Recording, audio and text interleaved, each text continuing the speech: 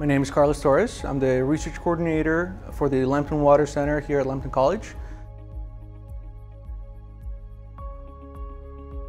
Our main goals is to provide support and expertise to our industry partners in areas such as proof of concept, validation, and commercialization strategies in water and wastewater treatment.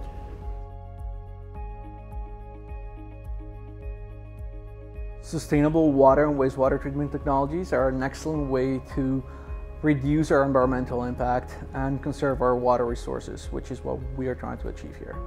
Through collaborative studies with Lambton College, our industry partners are able to push their technology to market as well as develop demonstration facilities towards their commercialization plan.